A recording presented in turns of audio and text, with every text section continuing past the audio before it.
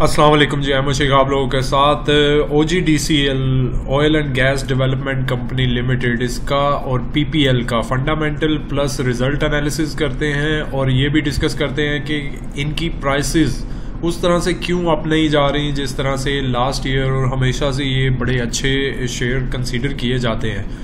और P P L और ओ G D सी ने अपना डिविडेंड पे करने की अमाउंट इतनी कम क्यों कर दी है, ये सारी चीज़ें डिस्कस करेंगे।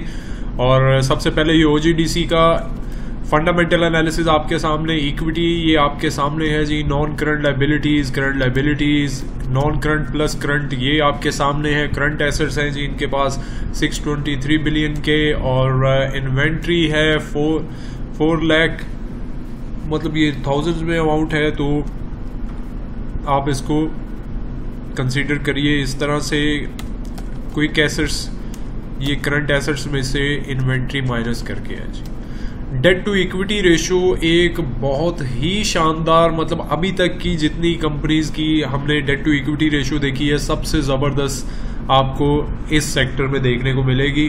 करंट रेशियो इनकी इतनी ज़बरदस्त है कि मतलब बंदा कहता है कि वाकई यार, ये कोई ज़बरदस्त किस्म की वर्किंग कर रही है कंपनीज़ क्विक रेशियो इनकी 7.21 बहुत शानदार।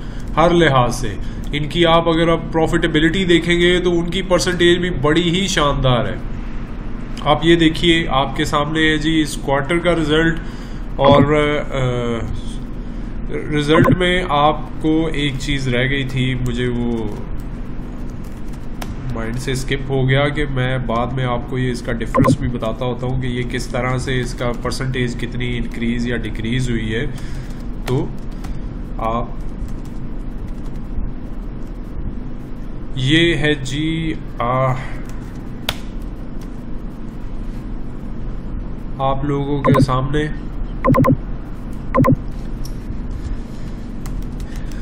जो सेल्स है इनकी नेट वो इंक्रीज हुई है 3.4 बिलियन से 5.49 परसेंट है। और रॉयल्टी और ये सारी चीज़ें आपके सामने हैं। इनमें बाकी चीज़ों में कोई ख़ास फ़र्क पड़ता नहीं है। और ये आपके सामने ये माइनर सी चेंजेस के साथ और फाइनेंस एंड अदर कॉस्ट में फाइनेंस एंड अदर इनकम में सॉरी ठीक ठाक कमी हुई है। पंद्रह percent exploration and prospecting expenditure general finance हम नेट अगर देखें net profit for the period इस क्वार्टर का प्रॉफिट अगर हम देखें तो ये सैंतीस परसेंट तकरीबन बनता है। और लास्ट ईयर सेम क्वार्टर में था जी तीस सॉरी अड़तालीस परसेंट था। ये आपके सामने अमाउंट्स आ रही हैं। ग्यारह इशारिया, आप देखें कि ग्यारह इशारिया तिरपन परसेंट की कमी हुई है। इसके अलावा आपकी अर्निंग पर शेयर अगर आप देखें तो इसमें भी बड़ा फ़र्क पड़ा है इसी प्रॉफिटेबिलिटी को देखते हुए। तो ये है जी बेसिकली ओजीडीसी का। अभी क्योंकि मैं इसको बहुत डिटेल में रिज़ल्ट एनालिसिस को नहीं कर रहा, उसकी रीज़न है कि अभी इसकी बेसिस पे ये शेयर स्टक नहीं है, किसी वजह से भी। फंडामेंटल्स में कोई इशू नहीं है, इसको अगर सिर्फ़ हम इनके रिजल्ट्स को और ये देखें इवन आपकी प्रॉफिटेबिलिटी कम भी हो, ये इस तरह से जो कम हो रही है, तीन क्वार्टर्स की प्रॉफिटेबिलिटी भी अगर आप देखें अर्निंग पर शेयर तकरीबन 20 परसेंट कम हुई है।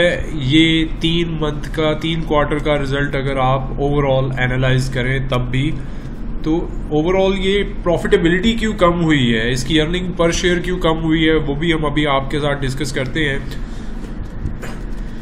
एक तो ये है जी कि ये जो ऑयल एक्सप्लोरेशन सेक्टर है, इसका डायरेक्ट कनेक्शन होता है जी इंटरनेशनल क्रूड ऑयल प्राइसेस के साथ। तो दूसरा ये होता है कि जी ये अपनी डॉलर्स को कन्वर्ट करके रुपीस में और वो अपनी इन्वेंट्री को और वो सारा बुक करते हैं चीज़ों को तो जब डॉलर का एक्सचेंज रेट कम होता है मतलब हमारी रुपी की वैल्यू बढ़ती है डॉलर का रेट कम होता है तो इनकी इन्वेंट्री में भी और जो एक्सचेंज गेन एक्सचेंज लॉस वो सारे फैक्टर्स भी अफेक्ट होते हैं नेगेटिवली मतलब अगर प्राइस रुपी की, अब हमारे पाकिस्तानी करेंसी की वैल्यू बढ़ती है डॉलर का रेट कम होता है तो इनको एक्सचेंज लॉस होता है. या आप ये कह लीजिए कि एक्सचेंज गेंस जो पहले ये ले रहे थे, उसमें कमी वाक़ होती है.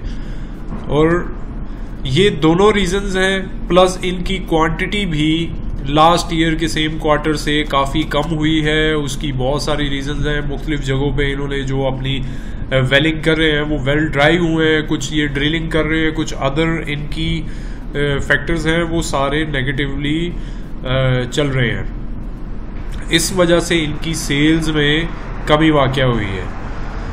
ये इन्होंने ख़ुद भी मेंशन किया है ये कि सेल्स इनकी अफेक्ट हुई है जी। Leverage realize price of LPG last year से कम हुई है पर टन के एतबार से, और इसी तरह average realize price of gas जो है वो भी, वो सिर्फ़ बढ़ी है। बाकी इनकी जो ऑयल प्राइसेस और एक्सचेंज का डिफरेंस वो नेगेटिवली इसको अफेक्ट किया है।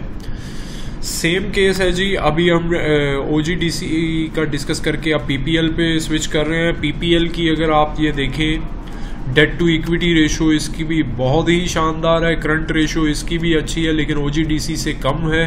रिसीवेबल्स इनके हैं जी, दो सौ अठहत्तर बिलियन के। और ओ जी डी सी के रिसीवेबल्स तीन सौ अड़तालीस बिलियन रुपीज़ के हैं। इनके अगर रिज़ल्ट की बात करें तो इनकी भी 9-10 परसेंट तकरीबन रेवेन्यू कम हुआ है। और नेट अगर हम देखें प्रॉफिट आफ्टर टैक्स बत्तीस इशारिया पचपन परसेंट है। लास्ट ईयर सेम क्वार्टर में चौंतीस इशारिया उनसठ परसेंट था। अभी चार रुपये बयालीस पैसे की अर्निंग पर शेयर है इस क्वार्टर की, जबकि लास्ट ईयर सेम क्वार्टर में पाँच रुपये बीस पैसे की अर्निंग पर शेयर थी। इनकी अर्निंग और रेवेन्यू में कमी की रीजंस वही है जी एक्सचेंज का एक्सचेंज जो डिफरेंस है, वो पाकिस्तान रुपी, जो पाक रुपी हम कहते हैं, उसकी वैल्यू बढ़ी है। और डॉलर का रेट कम हुआ है, एक उसकी वजह से ये जब कन्वर्ट करते हैं, तब प्रॉब्लम आती है इनको। दूसरा, इनकी भी कुछ जगहों से जो एक्सप्लोर कर रहे थे या ड्रिलिंग कर रहे थे, उसमें और इनकी रेवेन्यू में क्वांटिटेटिव के एतबार से भी कमी वाक़ हुई है गैस में भी और ऑयल से ऑयल में भी। हम इसके रिज़ल्ट को इतना ज़्यादा फोकस और डीपली डिस्कस नहीं कर रहे रीज़न क्या है? इसकी एक रीज़न तो ये है जी कि इन कंपनीज़ ने O G D C P P L ने बहुत सारी companies refineries Sui gas department S S G C S N G P दोनों। और इसी तरह जो आई पी पीज हैं, उनके साथ भी इनका लेन देन डायरेक्ट नहीं इनडायरेक्ट भी चलता है। अब ये सारी रीजंस हैं कि इनका रिसीवेबल का बहुत बड़ा पोर्शन ये आप देख सकते हैं कि करंट एसेट्स हैं जी, तीन सौ बहत्तर बिलियन के, उसमें से दो सौ अठहत्तर बिलियन सिर्फ़ और सिर्फ़ रिसीवेबल्स हैं पीपीएल के। अब आप खुद देखें कि इनका सारा जो ऑपरेटिंग कैपिटल है, वो तो स्टक हुआ हुआ है गवर्नमेंट के सर्कुलर डेट में। और ये बहुत टाइम से हुआ हुआ है। उसका अल्टीमेट इम्पैक्ट ये आ रहा है कि ये उस तरह से अपनी ऑयल एक्सप्लोरेशन की एक्टिविटीज़ को भी परफॉर्म नहीं कर पा रहे। दूसरा, ये अपना डिविडेंड पे आउट भी उस तरह से नहीं दे पा रहे जिस तरह से ये पहले दे रहे थे। अच्छी अर्निंग के बावजूद इनकी अर्निंग पर शेयर रीजनेबल है। मतलब ये इतनी बुरी नहीं है कि तीन क्वार्टर्स में चौदह रुपए की अर्निंग हो चुकी है। तो अभी तक डिविडेंड इन्होंने कितना दिया पीपीएल ने ओजीडीसी ने, आप खुद देख सकते हैं। अदरवाइज़ पिछला रिकॉर्ड अगर आप देखें तो ये बड़ी अच्छी कंपनीज़ कंसीडर की जाती थी पे आउट के अतबार से भी। तो अगर हम इन सब चीज़ों को देखें तो एक तो बड़ा इशू इनका ये चल रहा है कि अपनी प्रोडक्शन एक्टिविटीज़ और अपनी फाइनेंशियल एक्टिविटीज़ ये उस तरह से परफॉर्म नहीं कर पा रहे due to shortage of cash flow cash इनके पास शॉर्टेज है। और इसके लिए ये रेगुलरली ओ भी और पीपीएल भी दोनों की मैनेजमेंट टॉप मैनेजमेंट मिनिस्ट्रीज़ के साथ इन टच हैं। रेगुलरली गवर्नमेंट ने अनाउंस भी किया हुआ है। जैसे अभी रिसेंटली हमने ये न्यूज़ सुनी भी है एक दो दिन पहले की कि गवर्नमेंट ने क्लियर करने के लिए अप्रूवल भी दे दिए उसके बाद फ़र्क ये पड़ेगा कि इनको वहाँ से रिसीवेबल होने हैं। एसएनजीपी से एसएसजीसी से गवर्नमेंट के अदर इंस्टीट्यूशन से रिफाइनरीज से तो ये इस तरह से अपना ऑपरेशनल एक्टिविटीज़ और ऑपरेटिंग कैपिटल बेहतर तरीके से मैनेज करेंगे तो इनकी आप देखेंगे कि शेयर प्राइसेस भी बढ़ेंगी और इनकी प्रॉफिटेबिलिटी लास्ट ईयर्स से बेहतर होगी। दूसरी रीज़न ओजीडीसी और पीपीएल के अच्छा परफॉर्म ना करने की, वो भी बहुत बड़ी रीज़न है। और बहुत सारे लोग कहते हैं, नहीं, इतनी बड़ी रीज़न नहीं है. लेकिन मैं ये समझता हूँ कि वो एक बहुत बड़ी रीज़न है कि गवर्नमेंट ने अनाउंस किया हुआ है कि इनकी प्राइवेटाइजेशन की जाएगी, जो कि आज प्राइवेटाइजेशन कमीशन जो बनाई हुई है कमेटी उसकी आज मीटिंग भी है। ओ और पीपीएल का डिसीज़न आज इवनिंग तक या फिर आपको कल किसी न किसी न्यूज़ में सुनने को, देखने को मिलेगा।